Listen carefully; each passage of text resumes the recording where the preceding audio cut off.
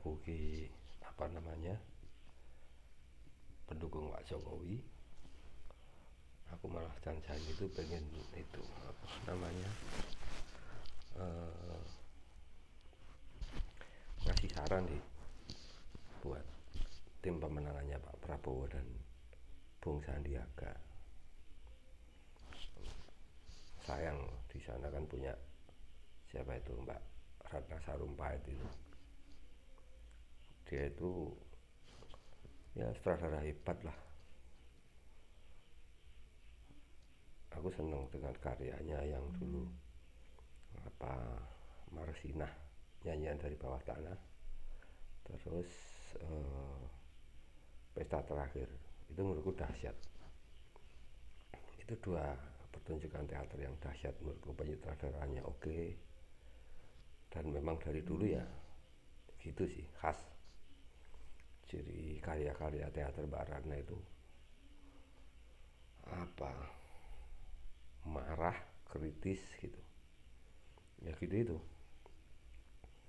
Nah kemampuannya dalam penyutradaraan itu menurutku yang harus dimanfaatkan betul oleh Pak Prabowo dan Mas Sandi jadi jangan sampai terjadi gini loh. Kalau dalam ilmu teater itu apa? Ilmu teater. Aku ya mudeng jane. Tapi gini di teater itu kan hal-hal detail itu perlu ya. Perencanaan ya harus matang naskahnya bagus gitu. Jadi kalau misalnya kayak kemarin saya ngelihat mak-mak di sana ngomong wah mahal. Ini mahal itu mahal gitu akhirnya jadi tertawaan banyak orang karena ada inkonsistensi di situ. Misalnya gini ngomong apa-apa mahal gitu kan? Nah sementara dia ngevlognya ngerekamnya itu di mobil mewah misalnya. Anaknya di Amerika sekolahnya konsultan gitu kan terus ada yang ngobrol itu kalung walungnya mahal-mahal gitu. Bajunya gitu. Itu kalau misalnya apa teknologi udah dahsyat itu mungkin penonton videonya bisa apa ngerasa ki bau parfumnya itu. Walaupun mungkin mereka nggak bisa nebak itu parfum yang harganya berapaan? Mungkin banyak orang nggak tahu gitu. Orang kayak saya ramudeng ngertinya ya kelas-kelas di pasar gitulah. Parfum yang cuma berapa ribu itu yang kayak kolon apa gitu gitulah kalau zaman dulu ya kan kasih saya dulu tuh pakai apa sasetan itu. Tisu sasetan yang wangi itu suruh bangsanya parfum gitu. itu menurutku di situ sebenarnya kelebihannya Mbak Ratna itu. Jadi apa ya ada stilisasinya dramatisasinya itu biar masuk gitu. Jadi kan kesannya ceroboh kan. Udah ngomong gini-gini ngomong nggak punya apa-apa kesulitan beli uh, bahan pangan misalnya. Tapi di orang ngacak di media sosialnya itu jejaknya oh liburannya di mana di mana?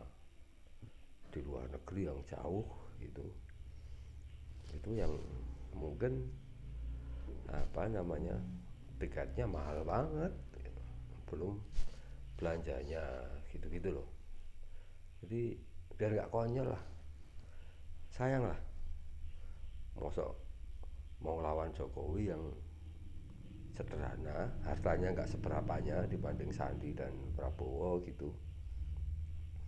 Terus pendukungnya itu menampilkan dirinya itu orang susah gitu.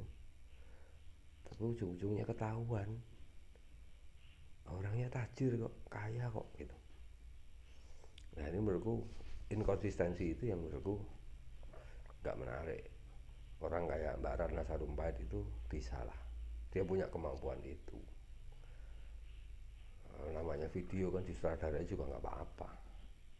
Yang penting nendang hasilnya itu nendang gitu.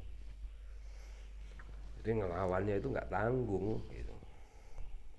Jadi ya mesti ngerti lah gimana caranya bikin. Yang harus pakai kamera yang bagus kelihatan disutradarai. Tapi orangnya dikasih tahu eh kalau ngomong gini kostummu perhatikan jangan pakai perhiasan mahal itu. Kalau perlu kalau di apa di teater itu kan riset itu. Naskah apa misalnya di konteks ini ceritanya konteksnya zaman apa. Kalau zaman segitu itu pakaiannya kayak apa ya mode yang ini yang ramai pada masa itu gitu. Jadi nggak ngawur. Nah kalau itu yang terjadi wah wes tak jamin. Rakyat Indonesia itu ngurus video itu nggak mudeng itu kayak apa. Tapi kalau di darinya misalnya syutingnya di studio apa. Ah ketahuan. Ketahuan kalau itu dibuat-buat. Jadi walaupun itu dibuat-buat ini di sutradara sih harus cantik gitu loh. Wes toh percaya berdaya gunakanlah Mbak Ratna itu. Dia kan seniman top lah. Top kayak mencuri gitu ya. Menurutku kecil. Orang karya-karyanya dia juga apa namanya walaupun kesannya berat gitu tapi naskah dan penampilan apa performernya itu cenderung realis kok. Ya kayak keseharian kita gini lah. Jadi lebih gampang. Jadi itu kalau mau serius manfaatkan baratnya jangan sampai dia tuh nggak kuat kalau monolog. Apalagi monolognya kayak misalnya kemarin itu di Danau Toba itu misalnya datang ke sana itu nggak menarik. Dia nggak punya kekuatan di situ. Terus misalnya kayak di apa ILC atau di apalah di TV-TV itu itu nggak menarik. Baratnya itu sutradara sekaligus penulis naskah. Dia tahulah detil-detil artistik supaya orang itu bisa terbawa. Pesannya nyampe. Hmm. begitu.